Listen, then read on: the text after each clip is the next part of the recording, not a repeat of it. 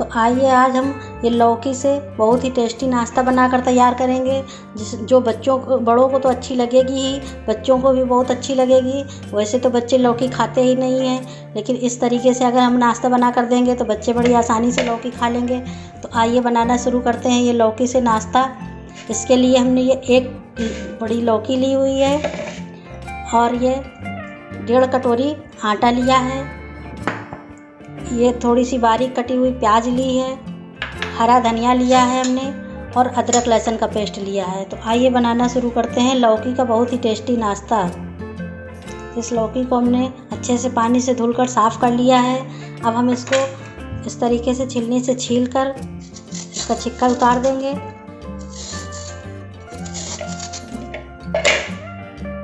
देखिए, इस तरीके से अच्छे से हमने छील लिया है। अब इसका ये आगे पीछे का पार्ट हटाकर, इसको दो पार्ट में डिवाइड करके, इसके हम इसको हम कद्दूकस कर लेते हैं।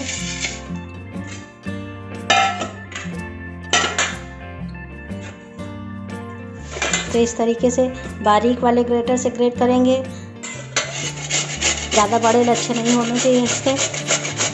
तो इस तरीके से हम सारी लौकी को ग्रेट करके तैयार कर लेते हैं। देखिए, इस तरीके हमने लौकी को ग्रेट कर लिया है और इसको इसी तरीके से छोड़ देंगे थोड़ी देर। तो इसमें जो पानी निकलना होगा, अपने आप निकल जाएगा। अब हम ये आटा लेते हैं अपना।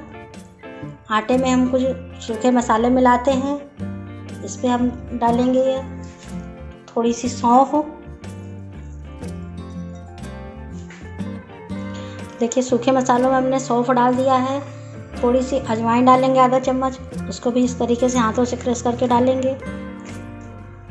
तो इससे, इसकी खुशबू बहुत अच्छी आने लगती है इस तरीके से डालने में। अब हम डालेंगे इसमें थोड़ी सी कसूरी मेथी।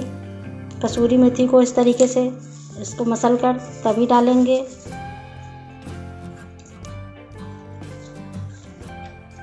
और अब इसमें डालते हैं थोड़ा सा जीरा पाउडर।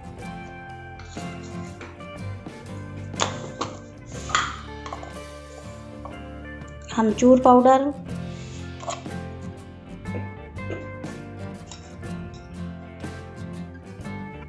ये हम इसमें थोड़ा सा मेथी का पाउडर डाल रहे हैं। मेथी का पाउडर अगर आपके पास नहीं है तो आप खड़ी मेथी डाल सकते हैं। ये हमने मेथी का पाउडर डाला है।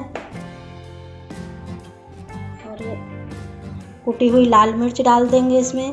आप इसमें हरी मिर्च भी डाल सकते हैं। लेकिन हमने यहाँ पे कुटी हुई लाल मिर्च डाली है। थोड़ा सा हल्दी पाउडर,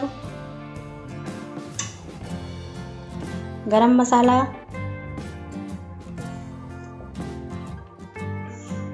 नमक एक चम्मच, नमक आप अपने टेस्ट के अकॉर्डिंग डालिएगा और इस पर जो अदरक लहसुन का पेस्ट लिया है, ये मिक्स कर लेंगे।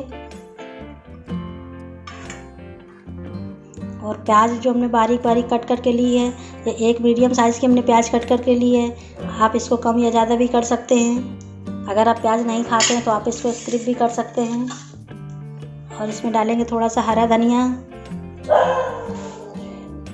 अब इन सारी चीज़ों को मिक्स कर लेंगे अच्छे से।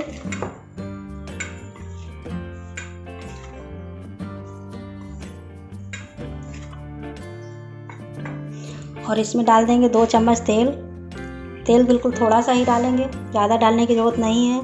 हम ये बिल्कुल कम तेल में बनाएँगे नाश्ता।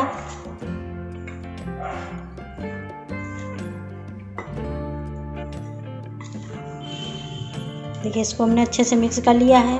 अब ये लौकी जो हमने रखी है, इतनी देर में इसका सारा पानी निकल गया है। अब हम इसको इस तरीके से निचोड़ कर इसका सारा पानी हटा सकते हैं।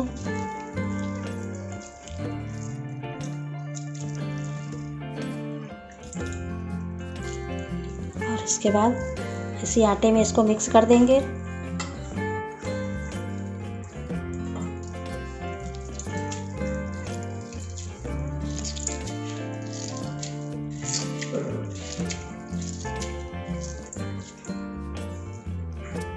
तो देखिए, इसका सारा पानी निकल गया है लौकी का इतनी देर में। तो देखिए लौकी का सारा पानी निकाल कर इसमें हमने डाल दिया है। अब हम इसको हाथ से मिक्स कर लेंगे।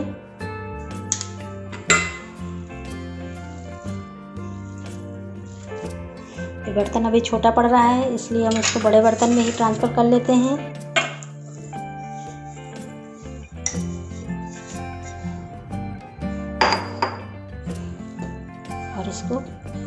अच्छे से इस तरीके से मिक्स कर लेंगे।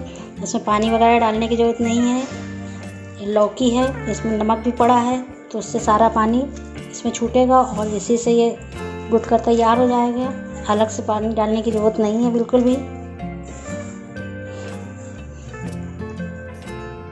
तो देखिए, इस इस तरीके से हमने इसको अच्छे से मिक्स कर लिया है। ये हल्का सा भी हाथों में चिपक रहा है, क्योंकि लौकी है, इसलिए इसमें बिल्कुल भी पानी हमने नहीं डाला है। लौकी से ही ये सारा गुद कर तैयार हो गया, आटा इसमें मिक्स हो गया है। आप इसमें, हमने इसमें डेढ़ कटोरी मैदा वो आटा डाला है, गेहूँ का आटा है। आप इसमें आधा मैदा, आधे, आधा आटा भी डाल सकते हैं, जो आपकी इच्छा है आप वो डाल सकते हैं। लेकिन हमने यहाँ पे सिर्फ़ आटा डाला है। देखिए, बनकर ये गुद कर तैयार है। अब हम हाथों को साफ़ कर लेते हैं, उसके बाद इसकी लोइयाँ बनाते हैं। तो देखिए, हाथों को हमने अच्छे से साफ़ कर लिया है अब हाथ में हम लगाएँगे थोड़ा सा बिल्कुल तेल, जिससे हाथ को चिकना हो जाए हाथ मेरे और उससे हाथों को चिकना करके इस तरीके से छोटी छोटी लोई लेकर इस तरीके से ये हम बनाकर इस तरीके से तैयार कर लेंगे। आप किसी भी शेप में बना सकते हैं, गोल, लंबे, चौकोर, कोई भी शेप में बना सकते हैं। देखिए हम इस तरीके से इनको बनाकर तैयार कर लेंगे। सारे, आप बीच में इनमें होल करके जिस तरीके से पेड़ा बनाया जाता है, पेठा, दही बड़ा, उस तरीके से आप बीच में इस तरीके से होल करके भी बना सकते हैं। आप किसी भी शेप में बना सकते हैं इसको। देखिए, इस तरीके से भी बना सकते हैं आप। आपको जो इच्छा हो, आप उस शेप में बनाइए इसको। इस तरीके से हम सारे बनाकर तैयार कर लेंगे। तो देखिए, इस तरीके से सारी लोइयाँ हमने बनाकर तैयार कर लिया है। अब हम इसको भाप में पकाएँगे उसके लिए। देखिए, उसके लिए हमने ये एक भगोने में पानी खोलने के लिए रखा है। उस पर हम ये छन्नी रख देते हैं और इसी में पानी हमारा खोलने लगा है। हमने पहले से रख दिया था। तो देखिए, इस छन्नी में हमने तेल हल्का सा लगा दिया है, जिससे यह नाश्ता हमारा चिपके नहीं और इसमें इस तरीके से रख कर हम इसको भाप में लगभग 20 मिनट तक पका लेंगे।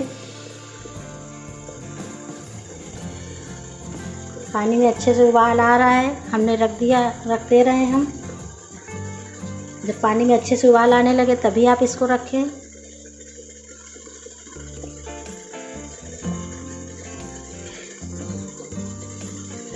और एक बार में जितने रख पाएँ, आप उतने रखें। बाकी आप बाद में पका लीजिए।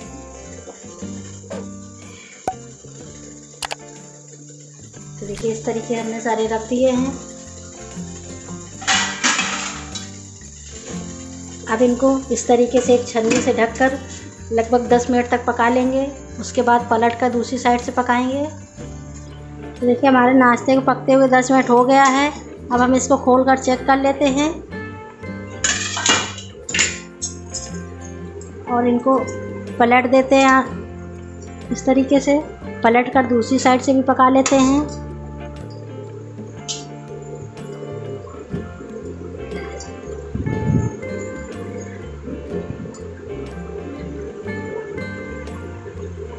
देखिए, हमने सारे पीसेस को पलट दिए हैं। अब हम इनको ढककर दूसरी साइड से भी 10 मिनट तक पकने देंगे।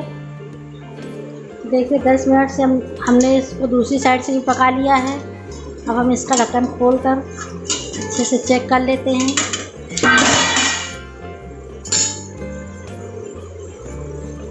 देखिए, बिल्कुल बनकर तैयार हो गया है नाश्ता हमारा। हम इसको इस तरीके से काट कर चेक कर लेते हैं। बिल्कुल भी अच्छा है। बनकर तैयार हो गया है। देखिए, इसको चेक करने का अच्छा तरीका इस तरीके से इसको डालकर देखते हैं नाइफ़ को। नाइफ़ एकदम साफ़ निकल रही है। इसका मतलब ये नाश्ता हमारा बनकर तैयार हो गया है। अब हम इनको निकाल लेते हैं एक प्लेट में। तो देखिए, इस नाश्ते को आप चाहें तो इसी तरीके से सर्व कर सकते हैं। नहीं तो अगर हम इनमें थोड़ा सा तड़का लगा देंगे तो इनका टेस्ट और भी बढ़ जाएगा। तो आइए हम इस पर तड़का लगाते हैं। तो देखिए, तड़का लगाने के लिए हमने लिया है एक तवा। तवे में हम डालेंगे थोड़ा सा देसी घी। आप चाहें तो इसमें तेल भी डाल सकते हैं, लेकिन हम इसमें देसी घी डाल रहे हैं। और घी गर्म हो जाए तो इसमें डाल देंगे हींग।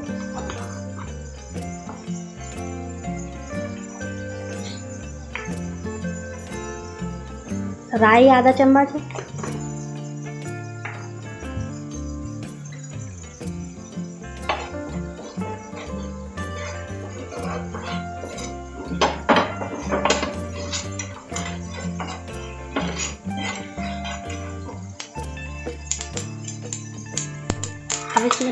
थोड़ा सा सफ़ेद तिल।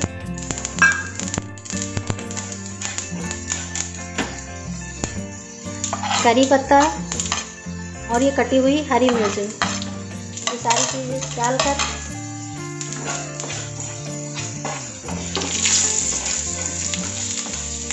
सारी चीज़ें डालने के बाद इसी में हम अपनी अपना नाश्ता रख देंगे।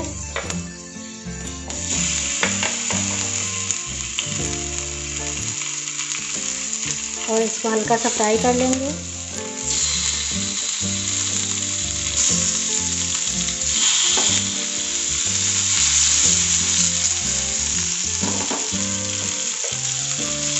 इस तरीके घुमाते हुए दोनों साइड से हम इसको फ्राई कर लेंगे हल्का सा। आप चाहिए तो इसके पीसेस भी कट करके फ्राई कर सकते हैं।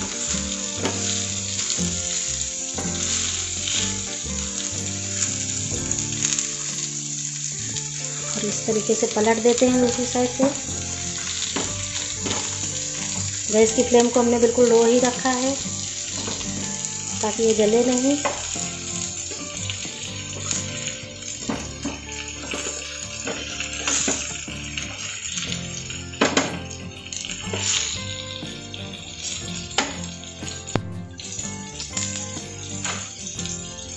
देखिए इसको दोनों साइड से इस तरीके से हम फ्राई कर लेंगे। तो आपने देखा ये तो कम तेल में बनकर तैयार हो गया बिना ऑयली। हेल्दी नाश्ता वो भी लौकी से, जो कि बच्चे बिल्कुल तोड़ के खाएँगे इसको।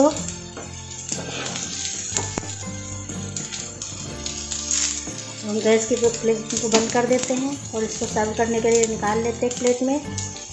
देखिए, बनकर तैयार है हमारा। ये लौकी का बहुत ही टेस्टी और हेल्दी नाश्ता। आप इसको ज़रूर ट्राई कीजिएगा और मुझे कमेंट बॉक्स में बताइएगा आपको इसका टेस्ट कैसा लगा। अगर आपको मेरा ये वीडियो अच्छा लगा हो तो फ्री में सब्सक्राइब कीजिए शशि का किचन यूट्यूब चैनल को और बेल आइकन दबाइए टेस्टी कुकिंग वीडियो सबसे पहले देखने के लिए।